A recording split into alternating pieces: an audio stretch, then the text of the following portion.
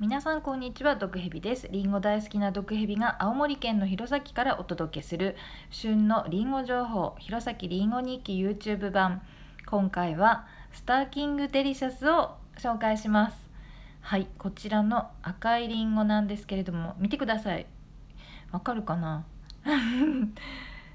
お尻分かりやすいですかね？こう出っ張ってますよね。5個。ここよく見ると星型みたいに見えませんか？この五角形の5個こうね肩もあみ分かりますね。5個出てますねなんか上が。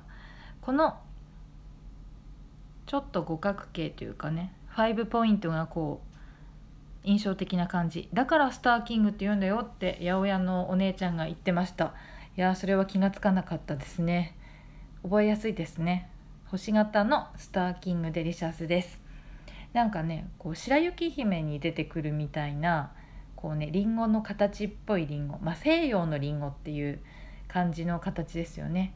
日本のリンゴは結構丸っこいのが多いイメージかな、まあ、あの童話に出てくるみたいなイメージですよねこの形。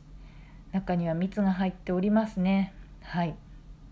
このスターキングデリシャスって毒蛇が小学生ぐらいの頃とかよく売ってるっていうかよく食べたりんごで本当にこの味とか香りが懐かしい。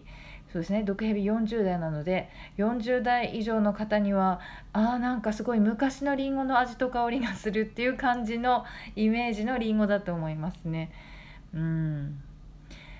そうですね。味の方はその甘くてあの懐かしいいい香りなんですけれどもお味はそんなにこうパンチがある感じではなくて、まあ、優しい甘さ酸味もそんなに強くなくてあの食べた感じもすごい硬いとかではないんですよね、まあ、全体的にイメージがやわ優しい感じですかね。なんかもぎたてを食べるとすごい美味しいとかっていうのも聞いたことあるんですけれどもなかなかこちらのスターキングデリシャスは日持ちがしない品種のようでだからこうちょっと最近はあの流通がしにくいということでですねあんまり遠くの方はあの見ることが少ないかもしれないですね。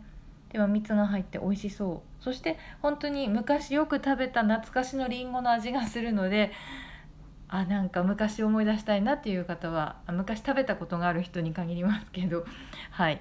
食べてみると懐かしいと思います。新たに食べる人はですね、まあ、優しい感じのりんごなのではい。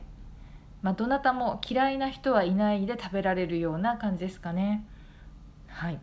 そんなわけでこの白雪姫に出てきそうな西洋っぽい形の、えー、五角形のねポイントがあるこちらのりんごスターキングデリシャスを今日は紹介しました。